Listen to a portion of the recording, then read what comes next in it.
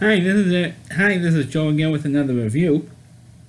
First thing, this video, I'm going to be discussing the 2019 film X-Men: Dark Phoenix. So, of course, James McAvoy, you have Jennifer Lawrence, and there's only two people that I know that saw in this movie. I mean, offhand. Of course, this movie is part of the more recent X-Men movie series, at least the rebooted version. But back in the early 2000s, he did have the X-Men movies. Uh, three of them were Hugh Jackman and Patrick Stewart uh, and Anna Paquin in, in those films. It was like in the early 2000s. Now since uh, they have the Marvel Comics uh, universe now, Marvel Studios, they rebooted the whole X-Men movie series. So X-Men First Class, you had X-Men Apocalypse, you had uh, well, I, think it was another X Men movie in there somewhere, and, and, you have this one, the, the X Men Dark Phoenix, which we're also going to be talking about in a minute. Uh, but you also had other X Men films. You had X X Men Origins Wolverine, you had X Men, um, you had Logan, and, and, you also had another movie just with Wolverine called just the Wolverine. Um, so so so you have about maybe like like eight or nine different X Men movies. Uh, uh, uh, yeah, the other one, uh, X Men Days of Futures Past. That, was the other one I I, I uh, skipped over. So so you must have had one maybe nine or ten film, 10, 10 or eleven X Men films. So it was one of the longest film film series of the Marvel comic book universe. Uh, except for maybe Batman, X Men had just as many more more movies I think that that Batman had. Uh, anyway, in, X Men Dark Phoenix is one of the more infamous storylines in the X Men uh, comic book uh, franchise. And it was also mentioned, they also had a Dark Phoenix uh, series in the animated cartoon series, which took place back in the 90s. So you the X Men animated series, and this is one of the most better storylines. I think it was like a three or four part series uh, originally. I think it aired like during during the week or every week uh, for, for about a month in prime time during the summer. So it's a real, really big big deal. Oh, you want to know what happened next? And then they repeated the series on uh, Saturday mornings, the Dark Phoenix uh, saga. Uh, I know this is going to be long. I know this is a long intro, but it's basically almost the same. Um, you know, almost the same plot almost. Uh, a slight, slight variation from the cartoon series, but but it's, but, but it's very very similar to that. Uh, what, what basically what happens is, and this happens within, within the first five minutes of the film, where the X Men get asked by NASA to go into outer space to help this to help the space shuttle crew to you know you know help, to help them got hit by a comet or something and the X-Men are the only ones capable of getting up there really fast and helping the space shuttle crew. Uh, before, know, before going any further, I should mention there was a, a prologue in this film about what Jean Grey as a little girl with her mental abilities, and she apparently, you know, accidentally killed her parents. Because later on we found out we find out otherwise in the film, which we eventually want to get into.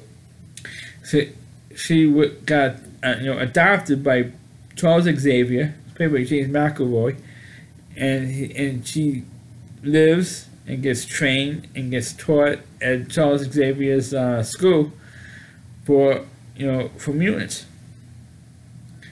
And then of course then you go into this the storyline which we're just getting into with the X Men being asked by NASA to go into space to help the space shuttle.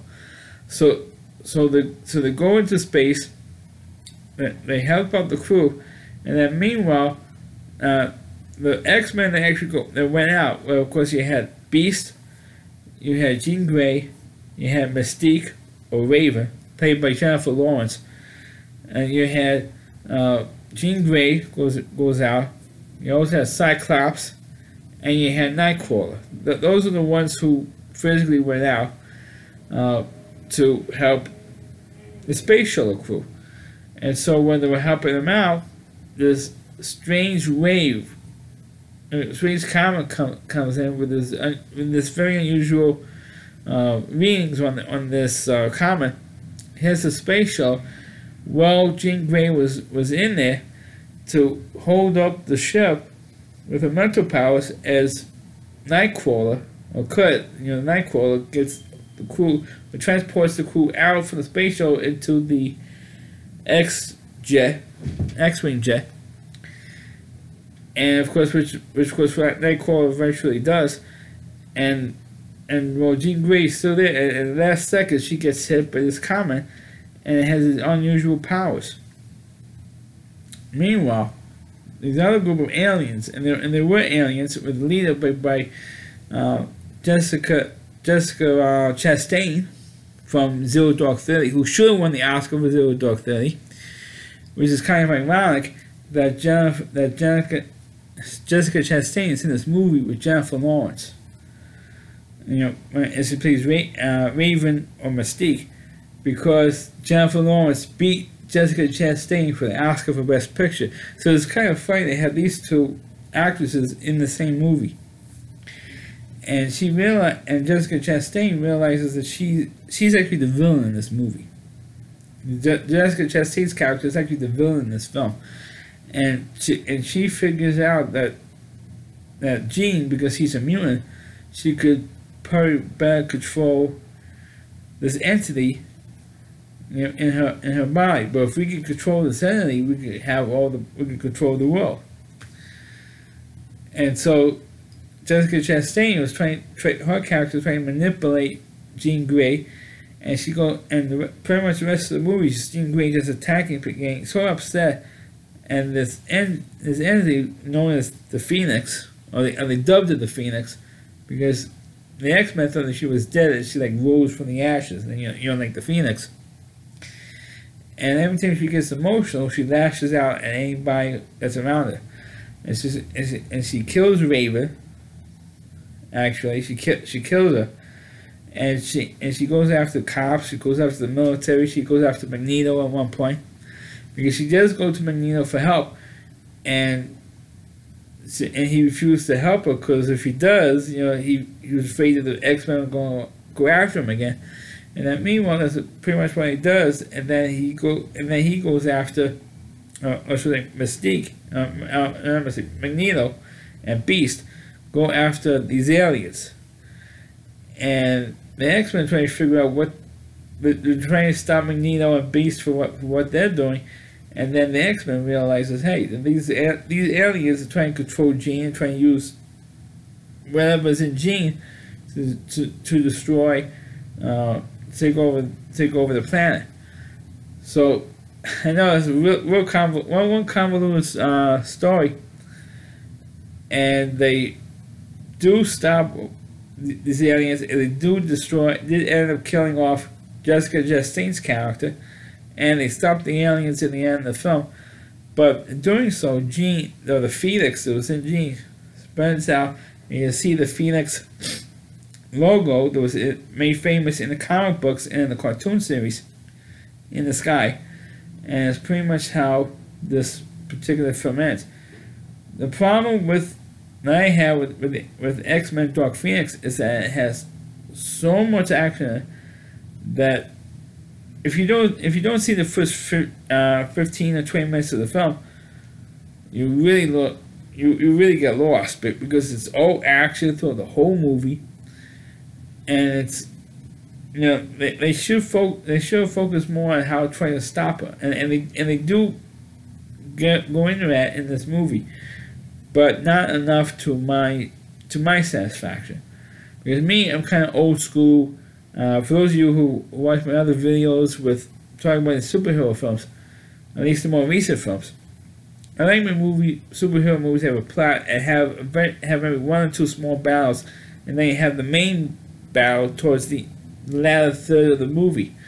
That's how I like it. But but if you start with battle, maybe little teeny tiny plot to explain what's going on, explain what was going to happen for the rest of the movie and then you have three quarters, the, the rest of the three quarters of the movie, all action. It's like you just see things getting blown up, or things get thrown around. Uh, and that's what you, that's what you see in this movie plus other uh, superhero films that, that have, been coming out the last 10 or 15 years. Uh, ever since Sam Raimi got kicked off for doing Spider-Man films, that's what you've been seeing in Spider-Man movies. Uh, or, or especially superhero movies as a whole. Not just the Marvel uh, comic book movies, but also the DC comic films as well. You see, I mean, they're just as good as that as the Marvel you know, universe uh, series is. But I'm not saying it's not a bad movie. I thought it was a, because it's a plot that I that I was aware of, like I said earlier, because of the cartoon series.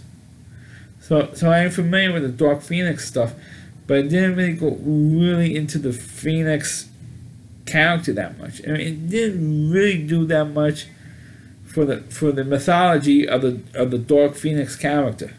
They did more in the cartoon series because they could build on that. And then like a three or four part series with the Dark Phoenix uh, saga. So, so they did a better job in, in, the cartoon series than they did in this movie in terms of exploring the Dark Phoenix character.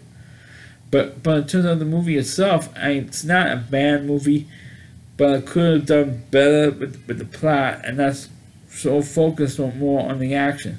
Because that's what the modern comic book movie audience wants, wants to see the action, action, action, and not to have everything explained to them. Because they don't like everything explained to them. Me, I'm just the opposite. I like to see the, you know, the plot develop and eventually the, the big battle scene eventually develops in, in, these movies. Like you had in the original Superman films with Christopher Reeve, at least the first two, they built up to the big action scene towards the end of the film that's what I like to see and go back to that style of filmmaking in comic book movies. That's why that's why I like to see and go back to, or even doing this the uh, Sam Raimi, Tom Maguire Spider-Man films. I like to see him build up to the big action scenes, uh, which which they did very well in the which Sam Raimi did very very well when he directed the first three Spider-Man films to build up to that. Uh, and then have action, action, action, action, maybe maybe one or two comedic moments, and then action, action, action, action. Uh, because it gets tiresome after a while. So, so but uh, Dark, the X Men Dark Phoenix is definitely I, I feel is one of the better movies in the X Men series. Uh, I mean, I think so. I, I know I've seen Apocalypse before. I, I don't think I, I don't think I reviewed that one. I have to reacquaint myself with that movie before I do a review on that. But but in terms of the actual film, I think it's one of the better films because it takes a plot from the uh, one better known plots from from this from the X Men series into this film. So that's my review of the movie X Men Dark Phoenix. Please click on the video, please rate it. Please subscribe to my channel, please forward this video onto your Facebook pages. You check out all my reviews and on my YouTube channel at rallyc.com, that's over WDY. That's C.com, that's a homepage to rally reviewer, quickly more, and please check out all of his videos on his website. Thanks for watching, and catch you next time.